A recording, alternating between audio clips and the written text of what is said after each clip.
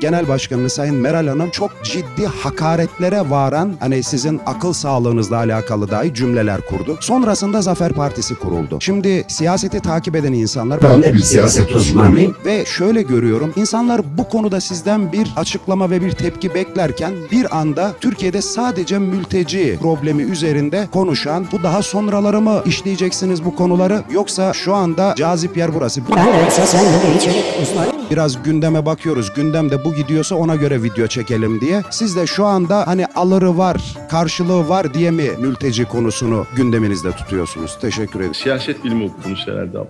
Yok sinema televizyon mezunu Evet, siyaset uzmanı Ee, sakın siyaset yapmayın.